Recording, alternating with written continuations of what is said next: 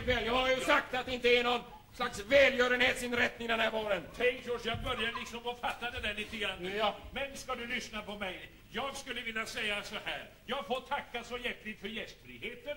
Och du skickar som vanligt räkningen. Ja, ja, till Buckingham Palace, tack. Ja, jag kan visan Han nu.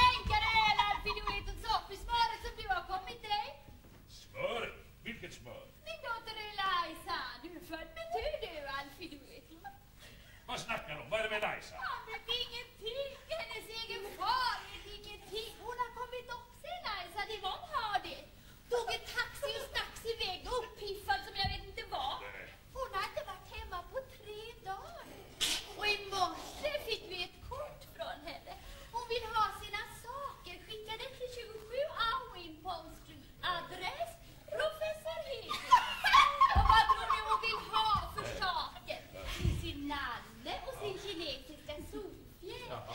Men, står det på kortet, några kläder behöver jag inte!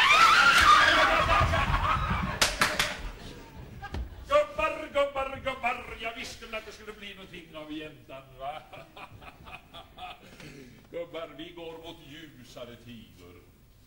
Solen lyser på Alfred P. Doolittle. Bjöd oss att ta hand om barnen. Det är vår enkla skyldighet förstås. För synen bjöd oss att ta hand om barnen. Men med en saxofon, med en saxofon, blir det barnen som tar hand om oss.